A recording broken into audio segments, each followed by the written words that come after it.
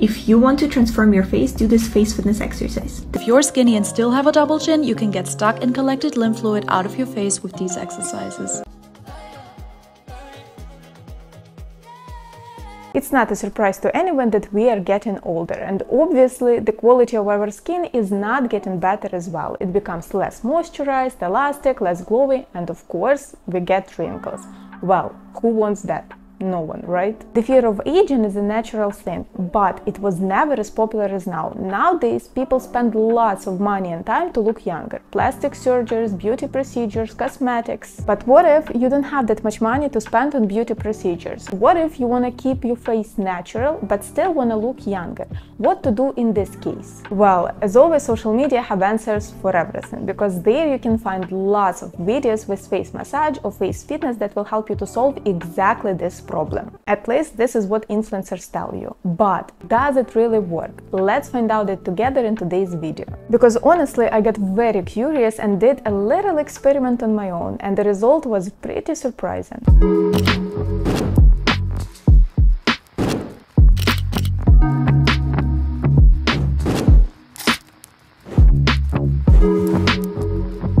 For a long time, I have been bumping into face fitness videos. There are lots of free videos on YouTube, there are courses, different equipment, and I really got curious because let's be honest, results look awesome. So the idea is pretty simple, just strengthen your facial muscles or do a massage and you're gonna look fresh, young and beautiful without any beauty procedures. But as Grissom from CSI always says, you wanna know the truth, find the evidence. Follow the evidence. So of course I started to dig and find out that everyone who is teaching face fitness follows the method of one woman, Carol Maggio. She is a licensed esthetician and she developed her Facercise program over 30 years ago in 1981. According to Carol's story, when she was 36 and newly married, one day her husband came to her and told her that she was getting older. So consequently, she decided to do something with her face, something that will strengthen her facial muscles and prevent it from aging. So basically, this is how face fitness was born. And even though I have some questions to her husband, in general, it sounds like pretty interesting story it right? Well, yes and no. Building your own empire is nice, but what about the evidence? Because if something is helping me, it doesn't mean that it's gonna help you. So of course I dug deeper and found no scientific evidence that face fitness helps you to look younger. For example, according to the review made in 2013 by Association of Plastic Surgeons concluded that, and I will read it, the evidence to date is insufficient to determine whether facial exercises are effective for facial rejuvenation. Evidence from large randomized controlled trials will be needed before conclusions can be drawn. There are nine studies made in total for all this time and all of them don't prove the effectiveness of face fitness. Well, then what about the results that we see, right? I want you to understand that there are many factors that could affect the result. Genetics, sleep, movement, nutrition, stress, etc. Having no scientific evidence doesn't prove or disprove the effectiveness of face fitness. It just simply means that we don't know it yet. For example, there are people who are saying that it works and their skin looks more elastic and glowy.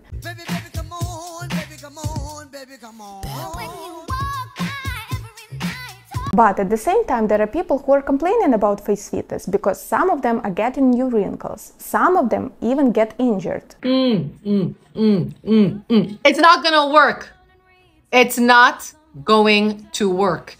If it would work, we would be looking like baby fucking fetuses for the past three, four, five centuries that we've been around. For instance, if you have any health issues and you do face fitness that includes neck exercises, then you can damage your body even more. Or for instance, some equipment such as jaw trainer can really hurt you. There was a huge trend on TikTok where people had been using this jaw trainer and showing their fascinating results. But the thing is, when you overdo it, you can create problems in your TMJ area. It's the area that connecting your lower jaw and the skull, which consequently can cause a huge headache. Or for instance, if you will overtrain those muscles, you can start clenching and grinding your teeth at night, which can wear down your molars. Again, who wants that?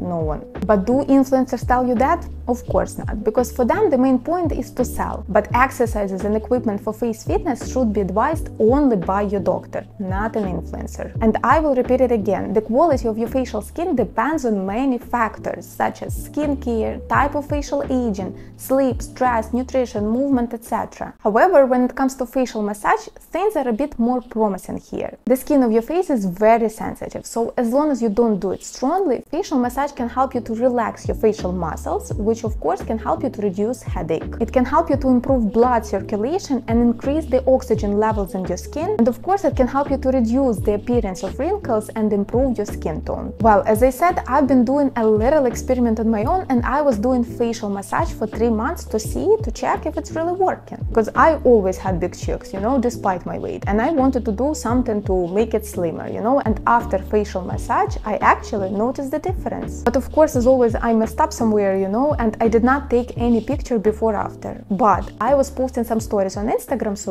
you can compare it yourself. Been outside, but tonight feels like you're home for life. But we always have but. Shortly after my experiment, I went on two months vacation, and during the time, I barely exercised, I ate a lot of fast food, and even though I did not gain any weight, I noticed that my face became more round again. So when it comes to conclusion, in my personal opinion, facial massage maybe can help you to get rid of a puffy face, you know, if you do it regularly and you don't stop. But when it comes to the quality of your skin, as I said before, it depends on many factors. Personally, I love doing facial massage just as a part of my beauty routine and for relaxation because I have a lot of tension here in my forehead area, you know, probably I'm thinking too much. And facial massage really helps me to relax. So what do we have at the end of this podcast? No scientific proof that it's really working. So basically, if you like it and you think that it's working for you, then just do it. Well, guys, this is it for today. I truly hope that you enjoyed today's podcast. And of course, as always, I'm gonna remind you to like this video and follow me here on YouTube so you can help my channel to grow so I can make more videos for you. And of course, stay beautiful, stay healthy, have a wonderful, wonderful day, and I will see you next time.